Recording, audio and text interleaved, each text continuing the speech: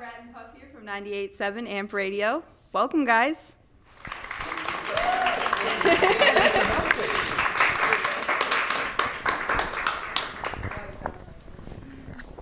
Thank you. Don't step on it. Now, proper mic technique, always know that. Hold it down here, because a lot of people hold it like they're rapping. Also, you want to talk too into it. So, uh, a little bit uh, about us. Um, our real names are Jeff and Josh. We actually met at the sixth grade lunch table. He asked at the sixth grade lunch table if anybody wanted to come swim in his pool. Um, at that time, he had a very, very high pitched voice. Um, How high? it was pretty high. Pretty high. So you could. Like it's one of those high pitched voices where you turn your head, you know, and you go. You think it's a girl asking you to swim was- in the pool, that's and about then right. it's him. Yeah. And then, uh, then we wound up, you know, being friends all throughout school. We wound up uh, going to a college together, and um, actually, They didn't the accept it. They would just go in there. but actually, just wandered in. actually, a uh, they had a college radio station at our college, and the guy who actually thought we would be good for it was the guy who was cheating with your girlfriend at the time. But but but but Wasn't my girlfriend. It's who I went to prom with. but you liked her. I had a crush. All right. So at the time, it's just so ironic and funny how it all came together. And then from college radio, we were there for a couple of years. And then we wound up saying, hey, we want to intern. And this was in Philadelphia. And um, we wanted to be interns. They were looking for interns. We heard it on the radio. So every day for at least three weeks, we would just drive up, sit in front of the building, call the request line, Oh call it, God. call it, call it, till they would let us in. And then eventually they let us in. Uh, we started, you know, doing all kinds of crazy stunts, things on the streets, and then wound up board opping, running the boards, listening to oldies on our Friday and Saturday nights, doing that for hours and hours, and then it just uh, all spiraled from there. Like when we first found radio, it was different for us because we weren't the most popular. We weren't the nerdiest kids, which I As can hate. I don't like to label things ever, but you know what I mean by that. And it was just something where we felt comfortable. We were friends. We always had a good time, and we weren't like super radio nerds. Now, in our industry, there's two types of people. There are the regular personalities like ourselves. And then you have personalities that are really difficult to talk to. If you ever talk to a really seasoned radio personality, they generally just talk radio. That's all they'll talk. They talk your ear off. Those are the radio nerds. I have difficulty talking to them because I just want to be like, hey, what do you do for fun? Do you have someone that you spend your life with? Are you a cat person, a dog person? I just got this new microphone, and the microphone's pretty awesome. Oh, stop it with the mic talk. It's, I don't care about your processor. I want to know the process that goes on in your brain when you're doing your show. Talk to me. Yeah. Why why why do you do what you do? I think our success, and uh, we'll talk about that real brief, uh, came because we were just two normal guys that were friends and just really found love for radio. And that's generally our success. And some people have a difficulty uh, in our industry seeing that. Some people are like, well, uh, you have to get fired 300 times from market 300 and uh, move your way up. And me and him started in Philly, which is a really big market in radio and TV and media in general. And we, we both worked in TV and radio. Um, but what, what I think is the most interesting is uh, how, how our show really took off.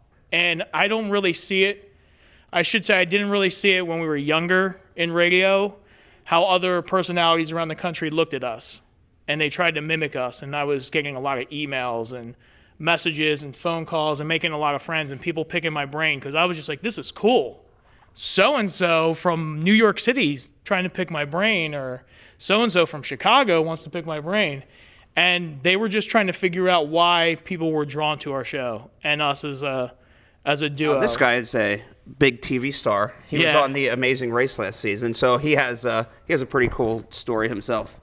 Yeah, my story's a little different than theirs. Uh, I grew up in a different kind of environment. Uh, I was the guy that used to beat up the people that bullied them in school. Uh, my brother was six years older than me. them. Well, you know. No, no, no. They stuffed they stuffed Him. me in Sorry, the him. He helped me. He was the That's how it worked. I used my size to my advantage. Yeah. So when I grew up, eh, I, I was always looking to get out, get away from where I was. I always just wanted to be somewhere else and do something else, but I didn't know what it was. I just knew I wanted to be away. So I kind of stumbled into radio uh, late in life. I was 29. I know I don't look that old, but I was 29 when I kind of stumbled into it. Or, well, 24, I guess, if you really do it. But I didn't know how to get into radio.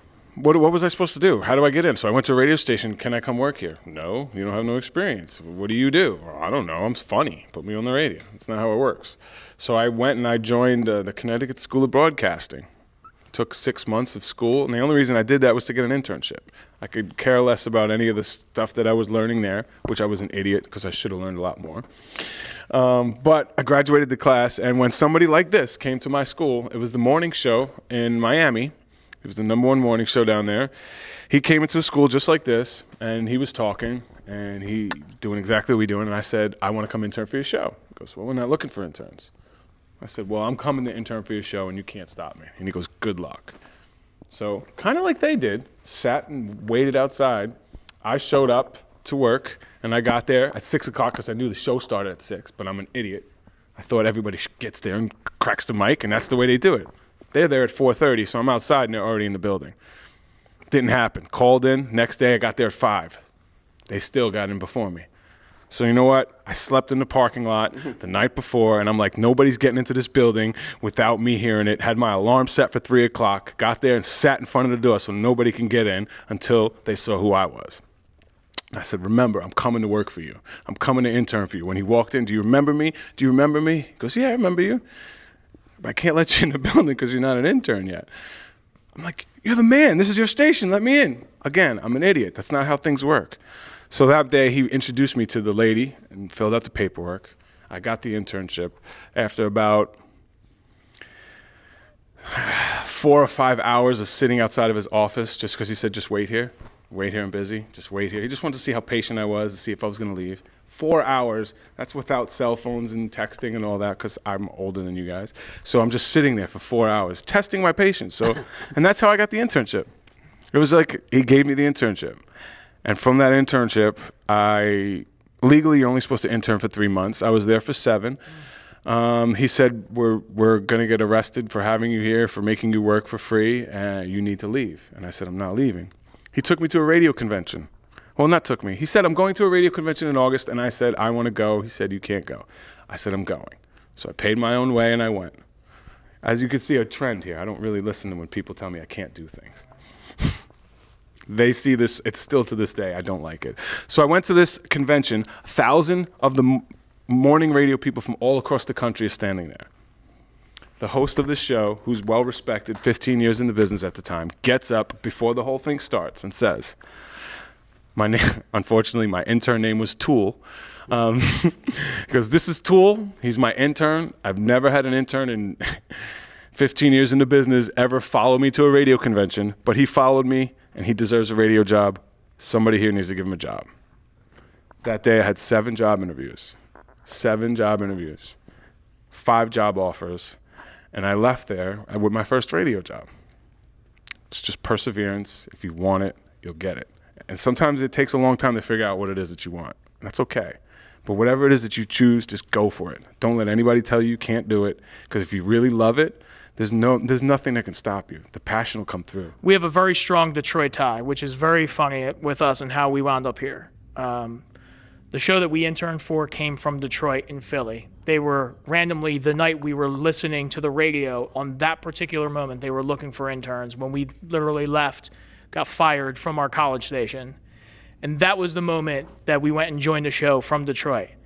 And then we were on the radio in Philly and uh, we started we just worked our way up. We started doing a lot of specialty shows and did every holiday and worked everything that no one wanted to do because we wanted it. I was told i was too fat to work promotions so they wouldn't hire me in promotions. And it's this is reality. This is what i had to deal with. And i'm just like well i'm going to make it. You're not going to tell me i'm too fat. I'm going to make it somehow. So we became board ops kind of like what you guys do when you run the board in there except there was we weren't on the radio. Um, and we loved the station so much that you know we started creating our demos, putting them out there, and then they started flying us all around the country. And we kept saying no to every job.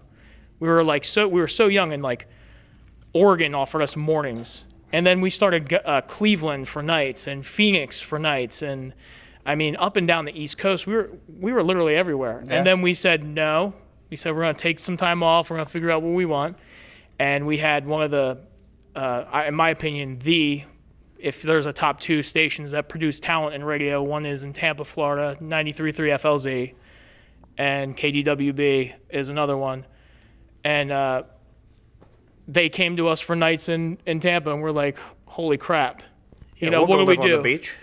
Yeah, Right, it was win- We'll was winter. Florida. Yeah. We, we, we put them on hold, and then Chicago called us, and the program director said, I don't know who you are. I was told to hire you. I have two plane tickets, a limo to pick you up, contracts, and hotel suites waiting for you. And I'm like, do we go to market three for media? Which we were like, that's what everyone in the industry would say. Top three market. Everybody wants to work New York, LA, Chicago. Everyone. We were offered that. But us. we went to we went to learn our craft and do it right, which is why we're where we are now. Yeah. And which is why when we went down to Tampa, we didn't market three because they hired us because we were voice tracking out of that city because we worked for iHeart, where unfortunately it's there's not as many live jocks. So one jock is tracking a whole lot of stations all around the country. So we were those guys. Now it was a pleasure coming Yeah, here and you, talking guys. to you guys. And uh, hopefully now you're friends with us, and if you need anything, you call up and ask for it. Just say that we talked in your class too, and we'll remember you. And let's get some social networking in here when you guys are doing radio. So If you have any questions, they'll be able to use that as well. after this, if you ever have any questions, just reach out to us on any social media. Facebook's probably the better place, the quickest place to respond. But reach out to us, and we'll get we'll answer any of your questions. Thanks so much for having us. Thank you, man.